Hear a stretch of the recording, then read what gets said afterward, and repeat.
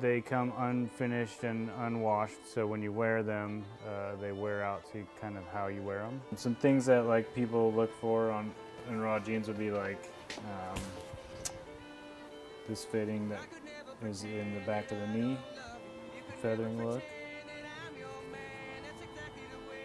And then different things like there's a hole in the pocket here that got patched up, but that's probably from whatever uh, this person had in their pocket.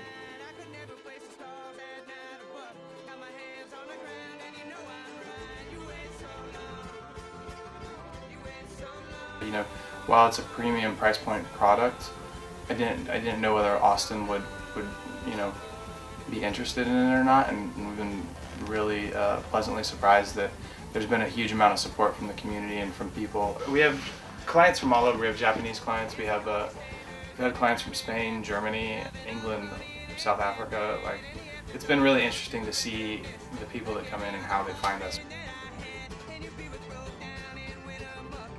Actually was just driving by one day. I saw the sign and there were some cool looking people standing out front and I was like, what's that place? So I just pulled over and came in and it's actually totally random.